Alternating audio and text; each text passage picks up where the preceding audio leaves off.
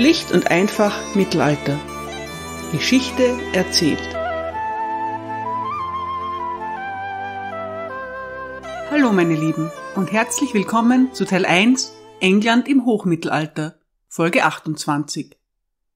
Wir schreiben den 25. Oktober 1154. Der englische König Stephen ist tot. Seine 20-jährige Herrschaft war von chaotischen Zuständen und dem ständigen Kampf um die Krone geprägt. Letztlich hat sich Stephen durchgesetzt, aber um einen hohen Preis. Nicht sein Sohn William wird ihm nachfolgen, sondern der Sohn seiner Cousine, Henry Plantagenet. Damit ist die gute Ordnung wiederhergestellt, denn Henry ist ein legitimer Enkel von König Henry I. Der junge Thronfolger von England ist bereits ein sehr mächtiger Mann. Er hat von seinem Vater die Grafschaft Anjou und das Herzogtum Normandie geerbt. Außerdem hat er vor kurzem die reichste Erbin von Frankreich geheiratet, Eleanor, die Herzogin von Aquitanien. Nun bricht er rasch auf, um sich auch noch die Krone von England zu holen. Da das Wetter schlecht ist, vergehen mehr als sechs Wochen, bevor Henry in England eintrifft. Wie wir aus früheren Folgen wissen, war es schon öfters verhängnisvoll für einen Thronfolger, sich zu viel Zeit zu lassen. Der älteste Sohn von William dem Eroberer, Robert Curthose, ist sogar zweimal zu spät dran gewesen. Aber diesmal droht keine Gefahr. Ganz England freut sich auf den neuen König und niemand wagt, ihm sein Recht streitig zu machen. Am 8. Dezember landet Henry schließlich bei Southampton. Und was tut er dann? Was ist das Erste, das jeder neue englische König tut? Genau, er reitet nach Winchester und sichert sich den Staatsschatz. Dann nimmt er die Huldigungen der englischen Barone entgegen. Zehn Tage später werden Henry und seine Frau Eleanor Seite an Seite in Westminster Abbey gekrönt. Heute geht es um Henry II. The Age of Empires. Die Regierungszeit von Henry II. ist wahrlich das Zeitalter eines Imperiums. Er herrscht über England und halb Frankreich. William of Newbury beginnt seine Chronik über den neuen König mit folgenden Worten. Im 1154. Jahr des Herrn erhielt Henry, der Enkel von Henry dem Älteren, durch dessen Tochter, die Kaiserin, sein erbliches Königreich. Henry war nach dem Tod von König Stephen aus der Normandie nach England gekommen. Von allen begrüßt und mit der heiligen Salbung zum König geweiht, wurde er in ganz England von Volksmengen bejubelt, die ausriefen, es lebe der König!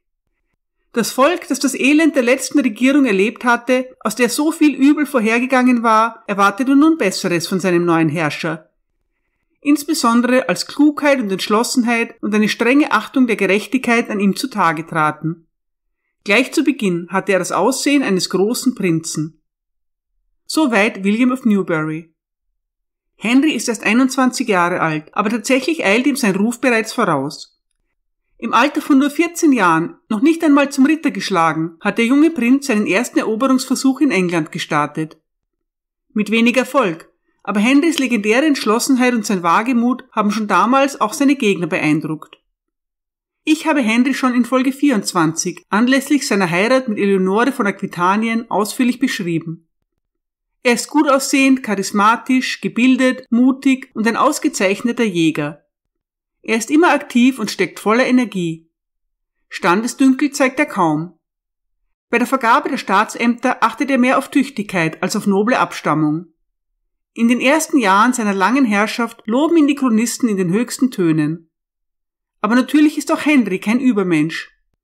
Er ist ungeduldig, nachtragend, ein notorischer Weiberheld und seine furchtbaren Wutausbrüche sind legendär. Dazu eine kleine Anekdote. Über Hugh of Avalon, den streitbaren Bischof von Lincoln, wird erzählt, dass er sich nicht gerne dreinreden lässt. Als ein königlicher Förster Bewohner seiner Gemeinde misshandelt, exkommuniziert er den Mann. Außerdem weigert er sich, einen lukrativen Posten mit einem königlichen Favoriten zu besetzen. Henry ist wütend und bestellt den Bischof zu sich an den Hof. Als der Kirchenmann dann aber vor ihm steht, wendet Henry sich ab. In kindlicher Beleidigung ignoriert er den Bischof von Lincoln. Stattdessen kramt er einen kaputten Lederhandschuh hervor und beginnt diesen zu reparieren. Hugh of Avalon sieht sich das eine Weile lang schweigend an. Dann sagt er beiläufig, wie ähnlich ihr euren Verwandten in Falaise seid. Das ist eine eindeutige Anspielung auf die uneheliche Geburt von William dem Eroberer, Henrys Urgroßvater. König Williams Mutter war angeblich die Tochter eines Gerbers aus Falaise. Die anwesenden Höflinge erstarren vor Schreck. Sie rechnen mit dem Schlimmsten, zumindest mit einem gewaltigen Wutanfall des Königs. Aber es zeigt sich, dass Henry manchmal auch einstecken kann. Er bricht in lautes Gelächter aus, schlägt Hugh kräftig auf die Schulter und der Streit ist beigelegt. Alle mittelalterlichen Königshöfe sind mehr oder weniger mobil, aber Henry treibt es damit auf die Spitze. Er ist ständig unterwegs und hält sich selten länger als drei Tage an einem Ort auf. Für seine Höflinge ist es eine gewaltige Herausforderung, mit ihrem unermüdlichen Herrn Schritt zu halten. Peter of Blois, der lange in Henrys Hof lebt, beschreibt ihn in einem Brief an den Erzbischof von Palermo folgendermaßen. Der König sitzt nie, es sei denn er reitet oder isst. An einem einzigen Tag kann er, wenn nötig, vier oder fünf Tagesmärsche zurücklegen, um so die Pläne seiner Feinde zu durchkreuzen. Wahrlich, er verweilt nicht wie andere Könige in seinem Palast, sondern reist durch die Provinzen, untersucht die Taten aller und richtet diejenigen, die er zu Richtern über andere gemacht hat. Das Leben des Hofes ist der Tod der Seele. Die dort servierten Speisen und Getränke sind ungenießbar oder sogar schädlich für die Gesundheit. Die Marschalls sind unerträglich. Sie müssen bestochen werden, um Unterkunft zu gewähren und sind bereit, weniger wichtige Höflinge zugunsten wichtigerer aus ihrem Quartier zu vertreiben. Ebenso weigern sich die Pförtner, jemanden zum König vorzulassen, es sei denn, sie erhalten regelmäßige Geschenke. Bei Hof ist jeder Tag unberechenbar. Wenn der König ankündigt, dass er an einem bestimmten Tag nicht reisen wird, wird er sicher bei Tagesanbruch aufbrechen. Dann sind seine Männer gezwungen, wie Verrückte herumzurennen, die Packpferde wachzurütteln und ihre Karren krachen ineinander. Wenn er sagt, dass er zu einer bestimmten Zeit aufbrechen wird, wird er sicher bis Mittag schlafen. Die beladenen Packpferde und Karren stehen wartend, die Vorreiter dösen, die Kaufleute des Hofes sorgen sich, alle murren und grübeln. Schließlich wird eine Anfrage an die Prostituierten gerichtet, um sich über die Reisepläne des Königs zu informieren, denn diese kennen die Geheimnisse des Palastes. Wenn der König endlich auf der Straße ist, kann es eine winzige Planänderung geben, die den Hof nicht in eine gut sortierte Stadt führt, sondern an einen trostlosen Ort, an dem es nur für den König Unterkunft und Abendessen gibt. Soweit Peter of Blois, der, wie man merkt, dem Leben am Hof nicht viel abgewinnen kann. Der Hof bewegt sich nur langsam vorwärts. Reiter schaffen 25 Meilen pro Tag, Packpferde maximal 12. Die Straßen sind sehr schlecht. Am besten sind noch die alten gepflasterten Römerstraßen. Alle anderen Wege sind holprig und bei Regen versinkt man im Morast. Dafür sind sie sehr breit angelegt, manchmal mehrere hundert Meter. Das dient dazu, einen Hinterhalt zu erschweren. Daher erlässt Henry auch die Order, dass die Straßengräben zu allen Zeiten von Büschen freizuhalten sind. Noble Besucher berichten mitunter voll Abscheu von dem chaotischen englischen Hof. Es sei dreckig, rattenverseucht und der Wein schmecke wie Essig. An solchen Kleinigkeiten stört sich Henry selbst wenig. Seine ständig wachsende Familie kann er allerdings nicht immer mitschleppen. Seine Frau und die Kinder bekommen jeweils einen eigenen Haushalt. Henrys ältester Sohn William verstirbt im Alter von nur drei Jahren, aber das ist, so viel man weiß, der einzige Kindstod, den das Königspaar zu beklagen hat. Vier Jahre nach ihrer Krönung haben Eleanor und Henry vier gesunde Kinder. Henry, Matilda, Richard und Geoffrey. In den folgenden neun Jahren werden mit Eleanor, Joan und John noch drei weitere dazukommen. Der junge König beginnt sofort damit, die staatliche Ordnung in England wiederherzustellen. Die 20 Jahre der sogenannten Anarchie haben die königliche Autorität stark geschwächt. Die Barone haben eigentlich nicht die Absicht, ihre in dieser Zeit gewonnene Unabhängigkeit, man könnte auch sagen Narrenfreiheit, wieder aufzugeben. Aber Henry macht ihnen sehr bald deutlich, dass neue Zeiten angebrochen sind. In dem Edikt anlässlich seiner Krönung, seiner sogenannten Coronation Charter, verkündet Henry II. die Rückkehr zum Status quo unter seinem Großvater Henry I. Unter König Stephen erworbene Rechte und Besitzansprüche erkennt er nicht an. Henry II. hebt alle Earldoms auf, die Stephen für seine Anhänger geschaffen hat. Die zugehörigen Earls werden enteignet und ihre Ländereien gehen zurück an die Krone. Das ermöglicht es dem jungen König auch, den Staatshaushalt zu sanieren, der in der Anarchie fast vollständig ruiniert worden war. Viele der eingezogenen Ländereien werden schließlich wieder als neue Lehen an die alten Besitzer zurückgegeben. Die Botschaft ist klar. Jeder verdankt seine Position und seinen Besitz der Krone. der König hat es gegeben und der König kann es auch wieder nehmen. Unter den Edelleuten und dem Rest der Bevölkerung regt sich wenig Widerstand gegen diese Maßnahmen. England sehnt sich nach einem starken König, denn alle sind der endlosen Scharmützel und der Gesetzlosigkeit des Bürgerkrieges überdrüssig.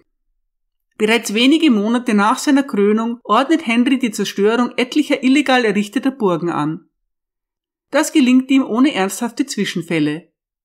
Dazu ein Beispiel aus dem notorisch aufmüpfigen englischen Norden. In York regiert William le Gros, William der Dicke, wie ein kleiner König. In Scarborough lässt er eine eindrucksvolle Burg errichten. Damit macht Henry Schluss. Allein die Nachricht, dass der König auf dem Weg zu ihm ist, reicht aus, um William gefügig zu machen. Ohne Widerstand verzichtet er auf seinen Titel Earl of York und übergibt Scarborough Castle an Henrys Männer. Die Burg wird zerstört. Hat Henry sich nun einen Feind fürs Leben geschaffen? Ganz im Gegenteil. William le Gros wird einer von Henrys treuesten Vasallen. Henry II. ist einfach ein geborener Herrscher. Eine sehr populäre Maßnahme ist die Verbannung der verhassten flämischen Söldner. William of Newbury, der zugegebenermaßen ein besonders großer Fan von Henry II. ist, schreibt, Zitat, Außerdem erließ der König ein Edikt, dass Ausländer und vor allem die Flamen, von denen damals eine große Zahl das Königreich belastete, bis zu einem bestimmten Tag in ihr eigenes Land zurückkehren sollten. Die Überschreitung dieser Frist wäre mit ernsten Konsequenzen für sie verbunden. Erschrocken über dieses Edikt entschlüpften sie so schnell wie ein Phantom, während sich viele über ihr sofortiges Verschwinden wunderten. Dann achtete der König auf die öffentlichen Vorschriften und war eifrig bemüht, dass die Kraft des Gesetzes, das zur Zeit des Königs Stephen leblos und vergessen erschienen war, wiederbelebt wurde. Er ernannte in seinem gesamten Reich Beamte für Recht und Justiz, um die Dreistigkeit der Täter einzudämmen und den Beschwerdeführern je nach Sachlage Wiedergutmachung zu leisten. So oft einer der Richter nachlässig oder unangemessen handelte und er von den Klagen des Volkes angegriffen wurde, wandte der König das Mittel seiner königlichen Revision an. Dies war der Beginn seiner Herrschaft. Die friedlich Gesinnten lobten ihn, während die Gesetzlosen murrten und erschraken. Die reißenden Wölfe flohen oder wurden in Schafe verwandelt oder, wenn nicht völlig verändert, wohnten sie doch aus Furcht vor dem Gesetz harmlos inmitten der Herde.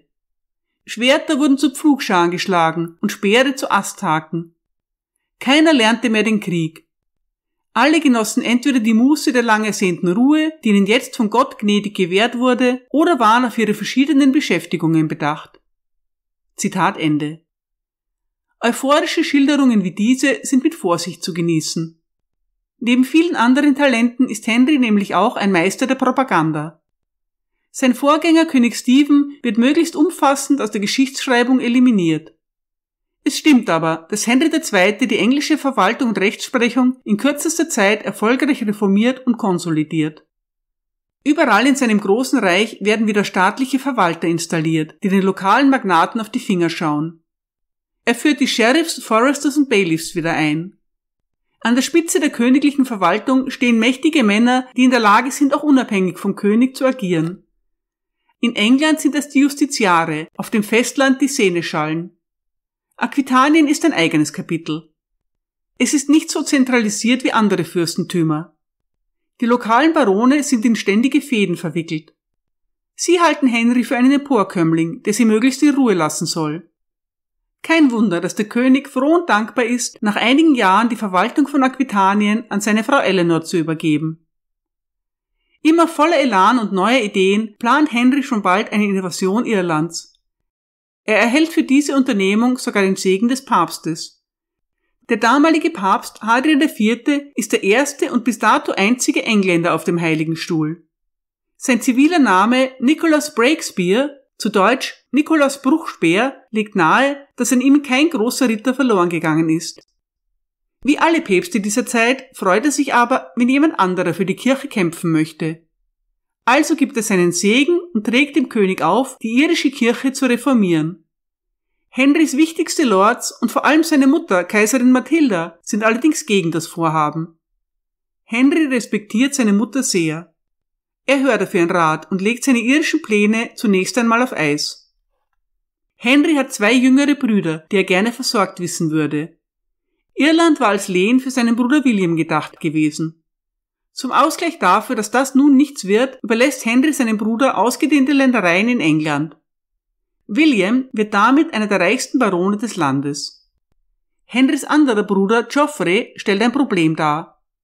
Laut dem Testament seines Vaters sollten die Grafschaften Anjou und Maine an Geoffrey gehen, wenn Henry die Herrschaft in England antritt.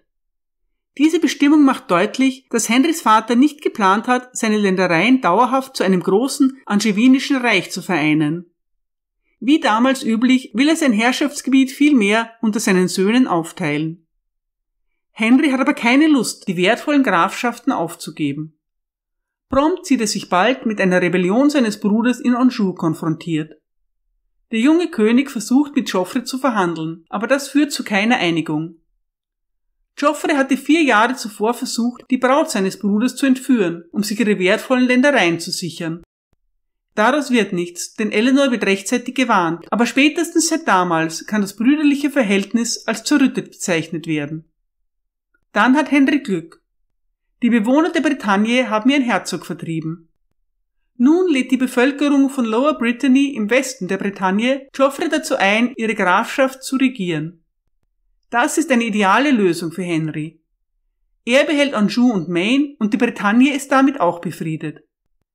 Der König sagt seinem Bruder eine jährliche Geldsumme zu und freut sich darüber, dass die Plantagenets nun auch den wichtigen Hafen von Nantes kontrollieren. Diese hübsche Lösung ist allerdings nicht von langer Dauer, denn Geoffrey stirbt bereits zwei Jahre später, ohne Nachkommen zu hinterlassen. In England kümmert sich der König besonders um die verletzlichen Grenzgebiete. Nach einem erfolgreichen Feldzug in Wales gelingt es ihm, mit den walisischen Anführern Frieden zu schließen. Sie unterwerfen sich Henry und erkennen seine Autorität an. In Schottland ist der englische König ebenfalls erfolgreich. Er hält die Countys zurück, die Stephen an den schottischen König verloren hatte. Auch auf dem Festland arbeitet Henry ständig daran, seine Besitzungen abzusichern. Der französische König Louis VII. hatte Henrys Vater als Herzog der Normandie anerkannt. Dafür hat er das Vexin inklusive einiger wichtiger Burgen bekommen, die Henry nun gerne wieder zurück hätte. Er findet eine elegante diplomatische Lösung für das Problem. Henrys ältester Sohn wird mit der Tochter des französischen Königs verheiratet. Die Burgen gehören zur Mitgift. Die glücklichen Eheleute sind fünf bzw. zwei Jahre alt. Damit sind sie selbst bei liberalster Auslegung des heiratsfähigen Alters natürlich noch viel zu jung für eine gültige Ehe. Da sich dieses Problem mit der Zeit von selbst löst, wird nicht groß darüber gesprochen. Henry herrscht mittlerweile über so große Gebiete, dass er sie nur mit äußerster Anstrengung kontrollieren kann.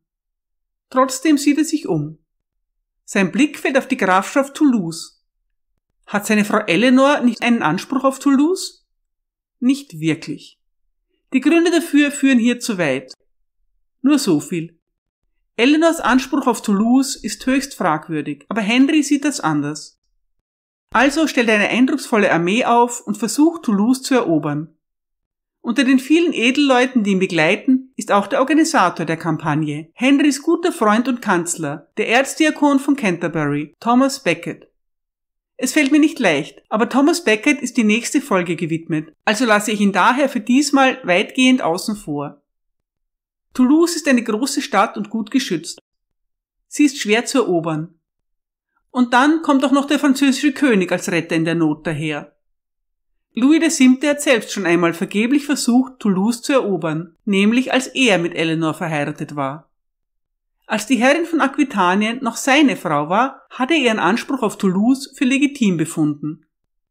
Das hat sich nun geändert. Also marschiert er an, um seinem Vasallen Graf Raymond von Toulouse zur Seite zu stehen. Damit hat Henry ein Problem. Er kann es sich nicht erlauben, den französischen König, der ja auch sein Lehensherr ist, anzugreifen. Also zieht er sich zurück. Außer Spesen nichts gewesen für den erfolgsverwöhnten König von England.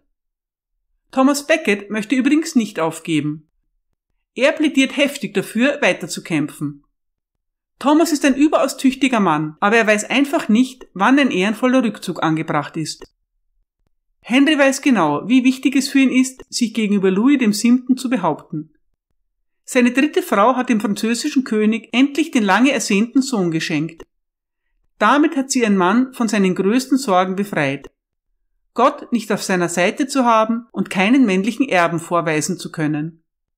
Louis VII. strotzt vor Stolz und neuem Selbstvertrauen. Henry versucht, mit taktisch klugen Eheschließungen seiner Kinder zu kontern. Der älteste Henry ist ja bereits mit einer Tochter des französischen Königs verheiratet.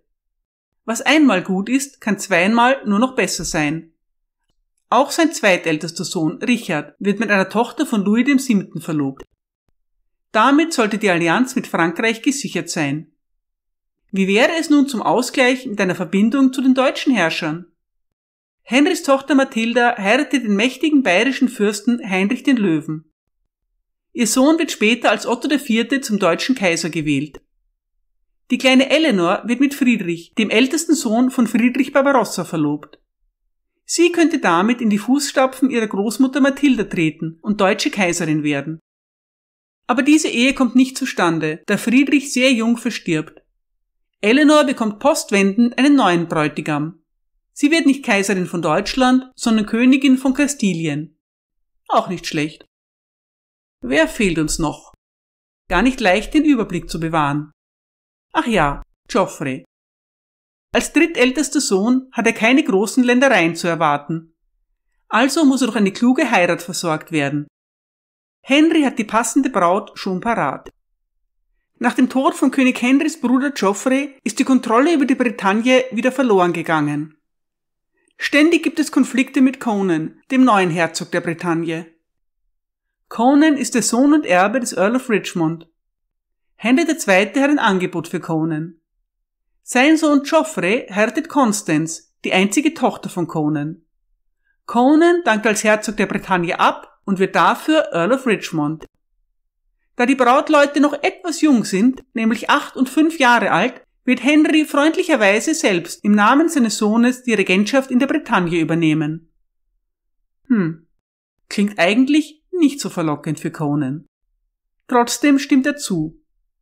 Offen gesagt handelt es sich um eines dieser Angebote, die man nicht ablehnen kann. Schon gar nicht, wenn sie von Henry Plantagenet kommen. Vergrämt aber machtlos verstirbt Conan bereits wenige Jahre später. Auch nicht schlecht. So wird der junge Geoffrey auch noch zum Earl of Richmond. Der Vollständigkeit halber seien an dieser Stelle auch noch die beiden Nesthäkchen erwähnt, Joan und John. Joan wird Königin von Sizilien und John mit der reichen Erbin von Gloucester verheiratet. Das ist allerdings erst einige Jahre später. Wenn ihr die heutige Folge etwas verwirrend findet, dann haltet euch vor Augen, was für ein verwirrendes, komplexes Reich Henry II. zusammenhalten muss. Wie schon sein Vater hat auch Henry vor, seine Ländereien unter seinen Söhnen aufzuteilen. Und wie schon bei seinem Vater wird es auch bei ihm nicht funktionieren. Als ersten Schritt lässt er seinen 15-jährigen Sohn Henry in Westminster Abbey zum König von England krönen. Das ist eine durchaus übliche Vorgehensweise, aber nun gibt es zwei Könige von England gleichen Namens. Um sie unterscheiden zu können, wird der Sohn Henry the Young King, zu Deutsch Henry der junge König genannt. Der Plan ist, dass Henry der junge König England und die Normandie erhalten soll. Auch rund 100 Jahre nach der normannischen Invasion halten immer noch viele Edelleute Ländereien diesseits und jenseits des Kanals. Die Normandie und England sollen daher unter einem Herrscher vereinigt werden. Für Eleanors Lieblingssohn Richard ist Aquitanien vorgesehen. Geoffrey soll die Bretagne regieren. Bleibt nur noch der kleine John. Für ihn ist kein Herrschaftsgebiet mehr über. Er schaut erst einmal durch die Finger, was ihm den Spitznamen John Lackland, zu Deutsch Johann ohne Land, einbringt. Nach 15 Jahren Regierung hat sich Henry II. als äußerst erfolgreicher König erwiesen. Die Verwaltung arbeitet effizient und die Barone hat er auch im Griff. Henry hat keine Feinde, die eine ernsthafte Bedrohung darstellen. Aber er hat eine ehrgeizige Frau, drei verwöhnte, zunehmend fordernde, halbwüchsige Söhne und er hat einen Freund, für den das alte Sprichwort gilt, dass wer solche Freunde hat, keine Feinde mehr braucht. Thomas Becket. Sie alle sorgen dafür, dass Henrys gute Zeiten sich dem Ende zuneigen. Danke für eure Aufmerksamkeit.